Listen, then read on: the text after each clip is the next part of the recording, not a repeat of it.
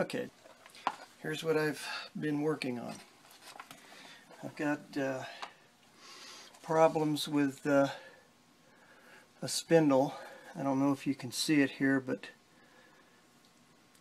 there's a little bit of pitting and a groove that's been worn in from the uh, old grease seal and this has been giving me trouble so uh, the grease has been leaking out and of course water's been getting in. And so uh, it's either replace the axle or get or get one of these. It's called a uh, speedy sleeve. And what it is it's uh, a stainless steel sleeve that you drive over the spindle to repair the surface. Comes in a little kit, has directions, a little tool to drive it on, which is worthless here because can't fit. But here is the uh, here's the sleeve. It's pretty cool. It's very thin. You don't even have to um, uh, get a special seal. The original equipment manufacturer's seal for the trailer still works for this because it's uh, it's very freaking thin. All right. So in order to uh, get it on, I made this little tool out of an inch and a half EMT coupling and a little piece of EMT in order to drive it on. You know, so the sleeve goes on like this.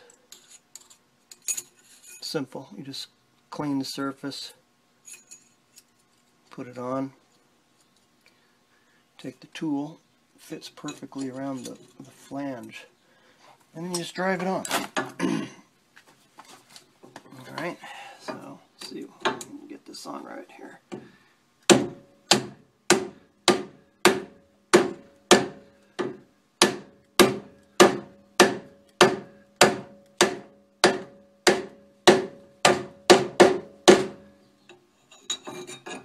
Pretty much it. Try to get it as far as I can.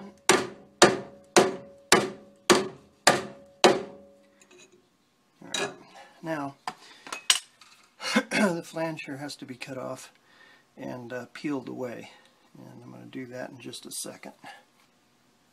Alright, hang on there a minute. Let me get a, a tool. Alright, I'm just going to cut the... I don't know if you can see it, what I'm doing here, but I'm just going to cut the end of it. Like so This thing should just peel away. There it is. There it goes. Hey?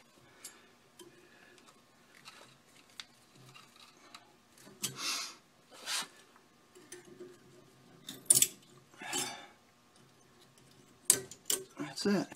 Just going to use one of my old bearings to drive. You can see it's not all the way back. It still has to go back further, so I use one of the old bearings. That's it's gouged up. Use my tool, put it on the opposite direction, and just tap that thing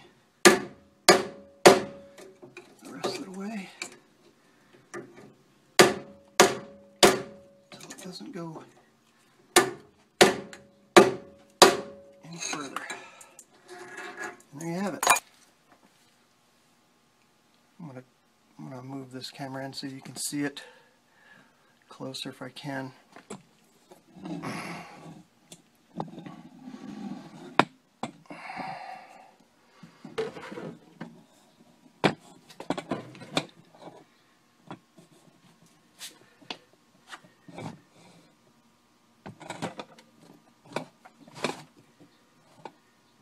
nice new surface. I've had to do this on all four of the axles. Um, come out good. It's it's that simple. And now they got a brand new uh, brand new surface for which the uh, seal can ride on. So I'm, I'm happy. It should work out really good. Just wanted to show you this because uh, I'm sure there'll be some point in time where you might have to do this.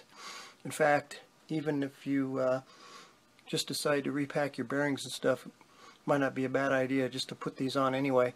I put them on all of mine just because I like the idea of a stainless steel surface for the seal. You know, no water's going to ruin it or it's not going to pit. Plus it's a lot harder and the seal won't be able to leave a groove in it either.